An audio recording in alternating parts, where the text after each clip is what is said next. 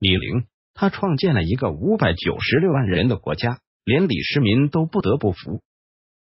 李陵，一个有着传奇和戏剧人生阅历的古人。李陵是悲惨剧的，是传奇的，是饱尝争议的。不说黄教主年轻的时候还是蛮帅的，他出世将门，祖父是有名的飞将军李广，更是李广长子的一父子。遭到李广的影响，李陵从小就喜好行兵交兵，有着一身的好武艺以及一身的胆量。李陵曾身化匈奴二千余里，跳过居延，侦察地形，曾带领他的五千部族单枪匹马。曾苦战匈奴，杀了许多的匈奴人。他年轻，他有胆量，他有策略，他的人生正本有着许多的。也许他的人生正本能够逾越自个的祖父李广，变成西汉最有名、最有才能的将军。但是命运通常即是这般无法。当他战胜被俘虏以后，他没有挑选自杀，而是伪装屈服。但是他的皇上刘彻却不情愿信任李陵，而是在愤恨之下把李家处以族刑。他妈妈。朋友和老婆都被诛杀，不管李广老将军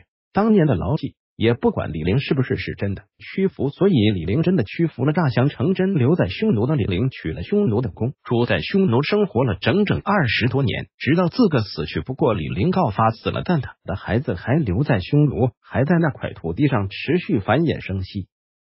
听说李陵的后人在后来渐渐强大，成了一个部落，更是树立了一个国家。而现在的吉尔吉斯斯坦，即是由李陵后人所树立的，也即是说，吉尔吉斯斯坦人流着李陵的血，流着中国人的血。而这一举成名的，一举成名的，从唐朝说起，从李世民说起。公元六百四十八年，正值大唐盛世，一支来自现在俄罗斯叶尼塞河上游区域的辖贾斯朝贡团。并在其酋长施波去阿战带领下，到达了唐朝首都长安。与其他部落、其他国家使者不一样，辖贾斯朝贡团除了来仰视李世民以外，还有一个与其他使团不一样的意图，与李世民认亲。认亲，这又是怎么回事呢？本来辖贾斯酋长自称是汉朝李陵的后嗣，与唐朝皇帝是同宗，要跟唐朝皇帝认亲，那他们真的是李陵的后嗣？